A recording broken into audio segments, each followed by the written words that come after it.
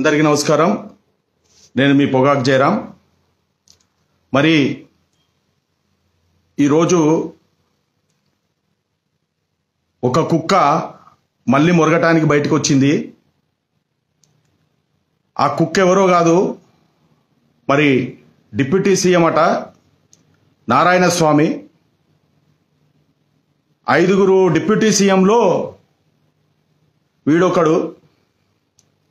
వీడు చక్కగా తిరుమలకు పోయిండు.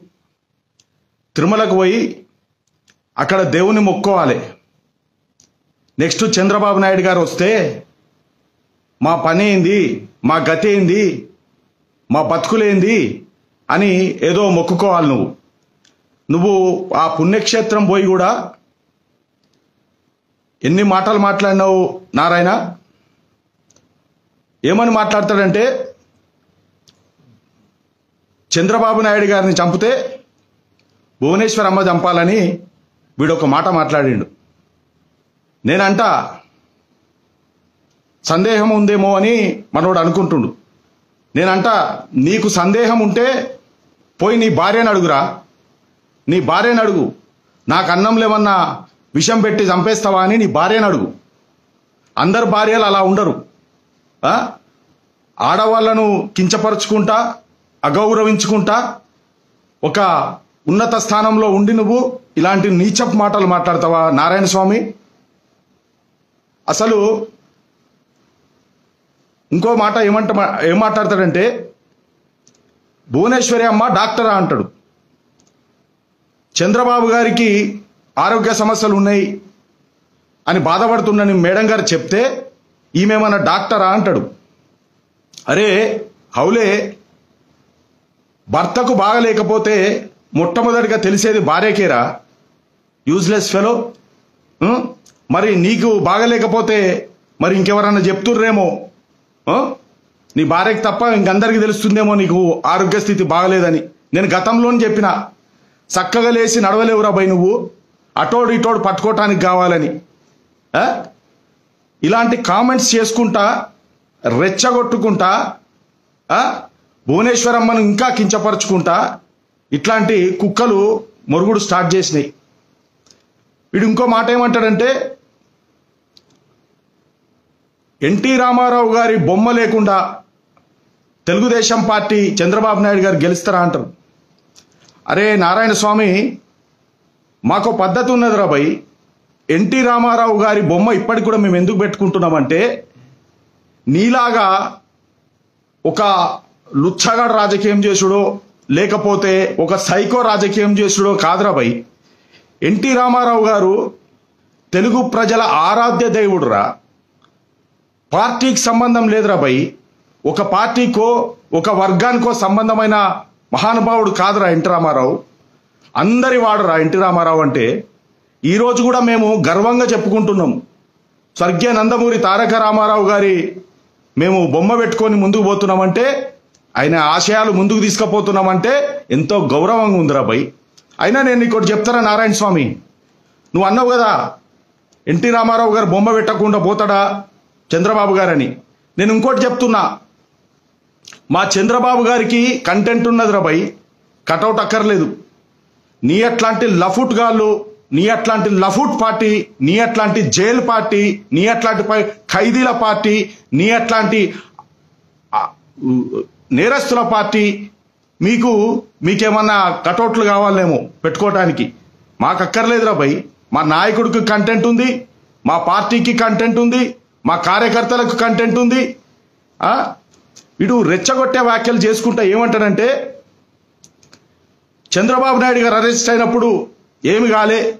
ఇప్పటి వరకు కూడా ముప్పై ఎనిమిది రోజులైంది ఇప్పుడు కూడా ఏం కాలే అని రెచ్చగొట్టుడు వ్యాఖ్యలు చేస్తున్నాడు.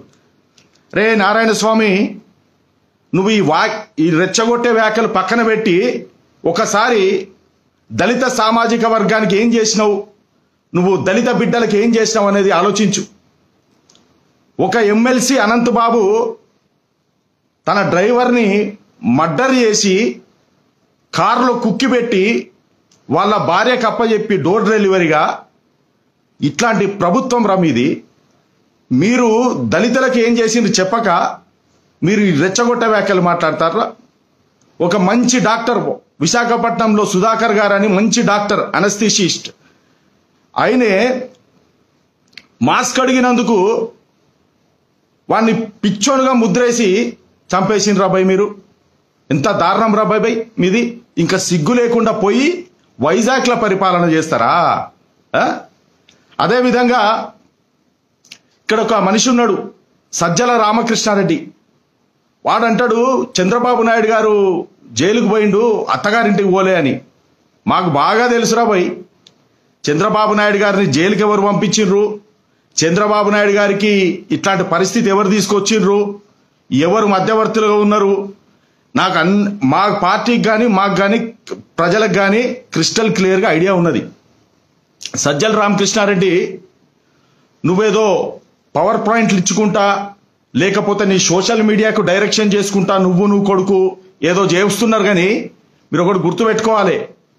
మీరు ఈరోజు ఈ ముప్పై ఎనిమిది రోజులు చంద్రబాబు నాయుడు గారిని నిర్బంధించి అన్యాయంగా కేసులలో ఇరికించి మీరు ఏదైతే పబ్బం గడుపుకుంటున్నారో మీరు ఒక్కసారి ఆయన బయటకు వచ్చిన తర్వాత మీకు ఒక లెక్క ఉంటుంది.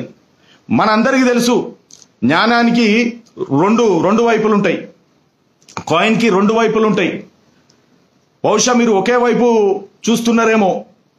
The other side of Chandrababu Naidu the second shade of Chandrababu Naidu two point zero. Very soon మీకు మీ అందరికీ వైఎస్ఆర్సీపీ నాయకులకు కానీ మీ వైఎస్ఆర్సీపీ ఖైదీలకు కానీ మీ లుచ్చ నాయకులకు కానీ రేపు రాబోయే రోజులలో the other side of Chandrababu Naidu the other shade of Chandrababu Naidu మీరు చూడబోతున్నారని మరొకసారి తెలియజేస్తున్నా. కార్యకర్తలారా ప్రజల్లారా వీళ్ళు రెచ్చగొట్టి ఏమంటారంటే ఏమి జరగలే. చంద్రబాబు నాయుడు గారిని అరెస్ట్ చేస్తే ఈ రాష్ట్రంలో ఏమి జరగలే అని. కానీ మీకు మరొకసారి నేను తెలియపరుస్తున్నా చంద్రబాబు నాయుడు గారు పదే పదే ఏం చెప్పిర్రంటే శాంతియుతంగా చేయండి. నాకు న్యాయం మీద నమ్మకం ఉన్నది. నాకు ధర్మం మీద నమ్మకం ఉన్నది. శాంతియుతంగా చేయండి. ఏది చేసినా ప్రొటెస్ట్ చేసినా ర్యాలీ తీసినా సంఘీభావం తెలిపినా శాంతియుతంగా చేయమన్నారు. అందుకే ఆయన చెప్పిన మార్గంలోనే ఇప్పటికీ కార్యకర్తలు దలుచు నడుస్తున్నారు. మీకు ఒకటి చెప్తున్నా.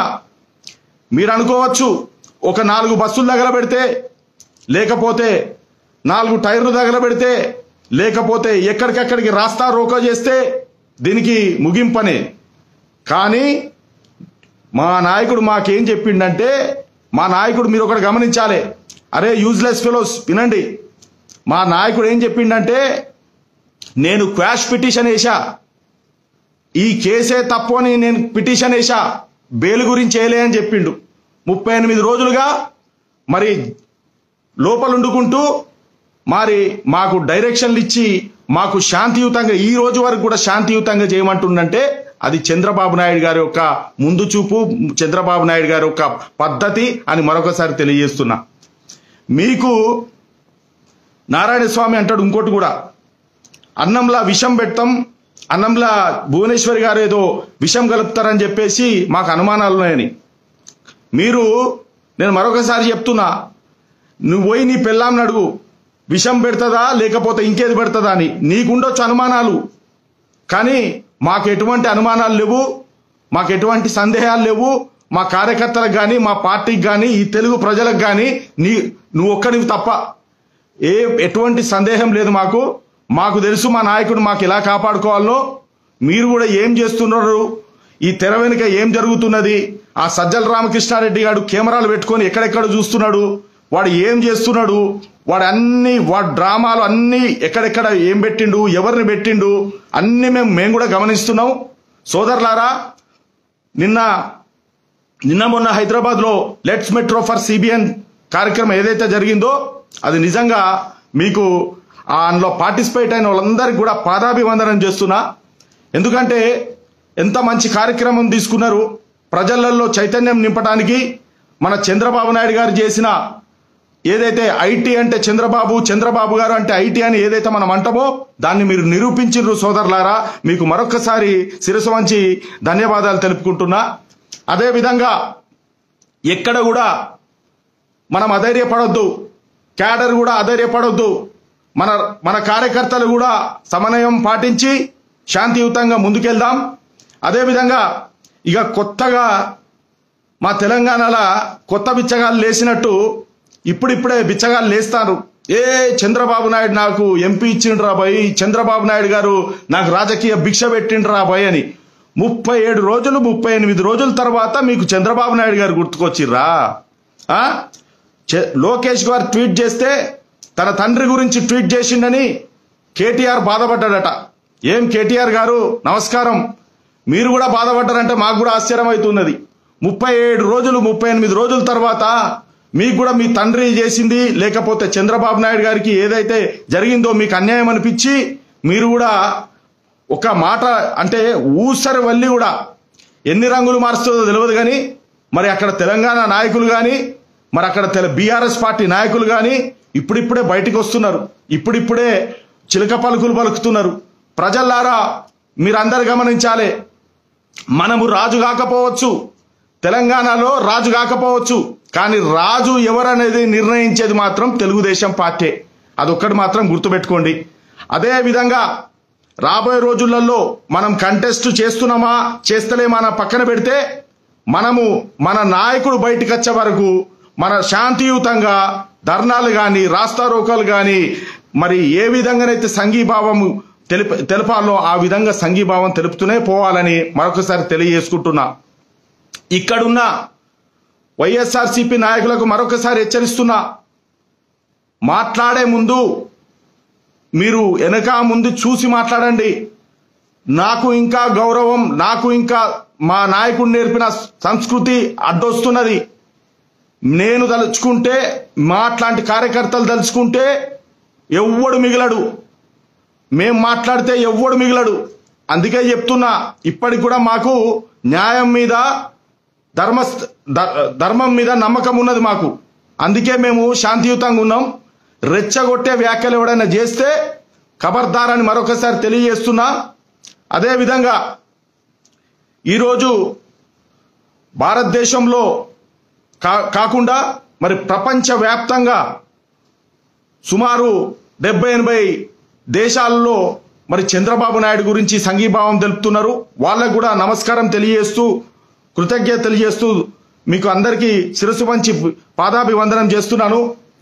నిజంగా చంద్రబాబు నాయుడు గారు బయటకు వచ్చిన తర్వాత ఒక్కసారి వారు కూడా ఈ ముప్పై ఎనిమిది రోజులు కానీ నలభై రోజులు కానీ ఏమేం జరిగినాయో కార్యక్రమాలు చూసుకుంటే ఆయన చాలా సంతోషపడతాడు. చంద్రబాబు నాయుడు గారు అవినీతి ఎంతో వీళ్ళు చెప్పలేకపోయారు ఇయ్యాలటకు కానీ ఐదు కోట్ల ప్రజలు బయటకు వచ్చిర్రు. ఐదు కోట్ల ప్రజలు బయటకు వచ్చి వాళ్ళ సంఘీభావం తెలుపుతున్నారంటే నిజంగా మనకి ఇట్లాంటి నాయకుడు ఉండు మన అదృష్టం. ఇట్లాంటి పార్టీలు ఉండు మన అదృష్టం. మరి మనము కూడా కలిసికట్టుగా పోరాడాలని మరొకసారి మీ అందరికీ కూడా ధైర్యం ఎక్కడ కోల్పోవద్దు మిత్రులారా. ధైర్యం కోల్పోకూడదు. మనము ఓర్పుతోంటుందాం సహనంతోంటుందాం శాంతియుతంగా ముందుకెళ్దాం మన నాయకుణ్ణి కడిగిన ముత్యంలాగా బయటికి తీసుకొద్దాం. మళ్ళీ ఎక్కడనైతే చంద్రబాబు నాయుడు గారిని అరెస్ట్ చేసిండ్రో అక్కడి నుంచే ఆ నంద్యాల పట్టణం నుంచే ఆ నంద్యాల గడ్డ నుంచే ఆయనను మళ్ళీ బాబు షూరిటీ భవిష్యత్తు గ్యారంటీ కార్యక్రమము మళ్ళీ మొదలవుద్ది. అదే విధంగా మన యువ నాయకుడు నారా లోకేష్ గారు ఎక్కడైతే యువగలం పాదయాత్రో అక్కడ నిలిపివేసిండో అక్కడి నుంచే మళ్ళీ యువగలం పాదయాత్ర స్టార్ట్ అవుతుందని మరొకసారి తెలియజేస్తూ మీరందరూ కలిసి కట్టుగా ఉండాలి ఐక్యంగా ఉండాలి సంక్షోభాలు కొత్త కాదు. చంద్రబాబు నాయుడు గారికి కొత్త కాదు తెలుగుదేశం పార్టీకి కూడా కొత్త కాదు. మీరు ఖచ్చితంగా దీన్ని ఫేస్ చేసి మనం బయటపడాల్సిన అవసరం ఉన్నది. మన నాయకుడు ఏందో మనకు తెలుసు ఆయన పరిపాలన ఏందో మనకి తెలుసు ఆయన ఏ విధంగా అడ్మినిస్ట్రేషన్ చేసేదో మనకు తెలుసు ఆయన ఎటువంటి కార్యక్రమాలు ప్రజల పేద ప్రజల గురించి తీసుకొచ్చిండో మనకు తెలుసు. ఎటువంటి మీరు ఒకటి గమనించాలి స్కిల్ డెవలప్మెంట్. ఇది యువతకు ఉద్యోగాలు ఇచ్చేది ఒక ఈ స్కీమ్ ఇది. దీన్ని పట్టుకొని వీళ్ళు ఇంత రభస చేస్తున్నారే రేపు తెల్లారి బయటకు కడిగిన ముత్యంలాగా బయటకు వచ్చిన తర్వాత ఓ యువత ఓ సోదరులారా ఓ ఆంధ్ర సోదరులారా ఓ తెలంగాణ సోదరులారా యువత మేలుకో నీ భవిష్యత్తు నెనుకో. యువత మేలుకో నీ భవిష్యత్తు నెనుకో. చంద్రబాబు నాయుడిని మరొకసారి మనం ముఖ్యమంత్రి చేయాల్సిన అవసరం ఉన్నది. మిత్రులారా స్నేహితులారా అభిమానులారా కార్యకర్తలారా అని పిలుపునిస్తున్నా. మరొకసారి మన చంద్రబాబు నాయుడు గారికి మళ్ళొకసారి చంద్రబాబు గారి నాయకత్వం వర్ధిల్లాలి చంద్రబాబు గారి నాయకత్వం వర్ధిల్లాలి చంద్రబాబు గారి నాయకత్వం వర్ధిల్లాలి నమస్కారం